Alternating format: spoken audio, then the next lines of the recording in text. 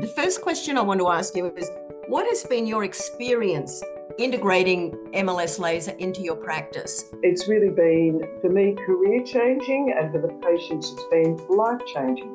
You get the results extremely quickly, especially in cases like edema or patients who have knee surgery or shoulder issues as well It started to be functional again.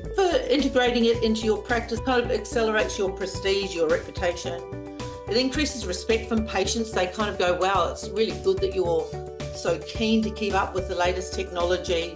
So it increases their trust and the referrals. There's no peer in order to change pain and inflammation from the first visit in almost every case. And you do get some game changing results, which is obviously increases patient satisfaction.